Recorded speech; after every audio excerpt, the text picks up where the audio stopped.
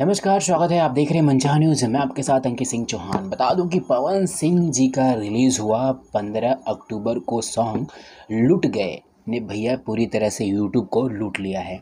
और इस गाने ने तीन दिन में यूट्यूब की ट्रेंडिंग लिस्ट के सभी गानों को पछाड़ते हुए टॉप रैंकिंग पर शुमार हो गई है। बात अगर पवन सिंह जी की करें तो भैया इनके गानों की चर्चा सिर्फ़ इंडिया में नहीं होती, इंडिया के बाहर भी होती है। और ऐसी होती है कि इनके चाहने वाले इतने प्यार लुटाते लुटाते हैं कि गाना ट्रेंडिंग लिस्ट में तो शामिल होती ही है, बजती भी है। लेकिन अगर ट्रेंडिंग लिस्ट के टॉप ट्रेंडिंग में आए तो भैया इसकी जो खासियत है या फिर कहे तो फ़ैन फ्लोइंग है, वो काफ़ी बढ़ जाती है। लूट गए ने ऐसी लूटी ऐसी लूटी महफिल कि अभी यूट्यूब की ट्रेंडिंग की टॉप लिस्ट में है।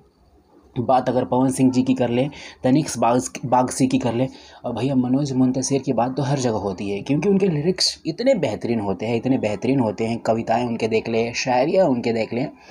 तो सारू सारे गानों का या फिर सारे लिरिक्स का जो कंपोजिशन किया जाता है इतने बेहतरीन तरीके से किया जाता है या तो फिर वो कोई बॉलीवुड सिंगर ही क्यों ना गाए या फिर आ, कोई भोजपुरी सिंगर में पवन सिंह जी ही गाएँ तो किस तरह से उसकी चर्चाएँ होगी, वो आप इस गाने की जो व्यू है, उस और साथ ही ट्रेंडिंग लिस्ट में शामिल हुई है, उससे आप साफ़ समझ सकते हैं।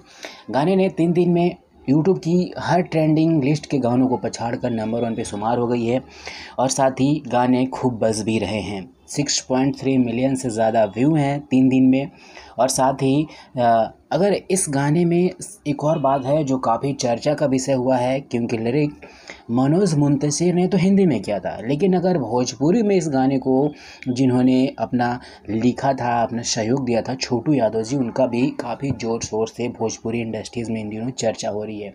बिहार का रहने वाला यह लड़का हिंदी गानों को भोजपुरी में लिखता है, साथ ही कुछ लिरिक्स में कुछ वैसे वर्ड भी हैं जो पूरी तरीके से भोजपुरी के हैं। तो कह सकते हैं, एक बड़ी उपलब्धि है सिर्फ़ भोजपुरी गाने की दृष्टि से नहीं, बल्कि भोजपुरी में रहने वाले भोजपुरी इंडस्ट्रीज़ के वैसे लोगों के लिए भी, जो अब धीरे धीरे अपनी ऊंचाइयों को उस क्लब में शामिल कर रहे हैं, जहाँ से बॉलीवुड इंडस्ट्रीज़ के गानों को प्यार दिया जाता है। अब हमारे गाने भी, यानी कि भोजपुरी इंडस्ट्रीज़ के गाने भी उस लिस्ट में शुमार हो रहे हैं, बज भी रहे हैं। तीन दिन की इस लड़ाई में यूट्यूब की हर गाने को पीछे छोड़कर नंबर वन के ट्रेंडिंग लिस्ट में लूट गए, शामिल हो गई है। और साथ ही पवन सिंह जी का जो दबदबा है फ़ैन फॉलोइंग है, उनके जो इरादे मंसूबे जो रहते हैं, वो शार्प रहते हैं कि हमें वर्क करने हैं, बेहतर करने हैं भोजपुरी इंडस्ट्रीज़ को और भी ऊपर उठाना है और बताना है कि भोजपुरी इंडस्ट्रीज़ कहीं से भी पीछे नहीं है। इस गाने की अगर बात कर ले तो इस गाने ने साबित कर दिया कि तीन दिन में इस तरह प्यार मिलना कोई कम बात नहीं है।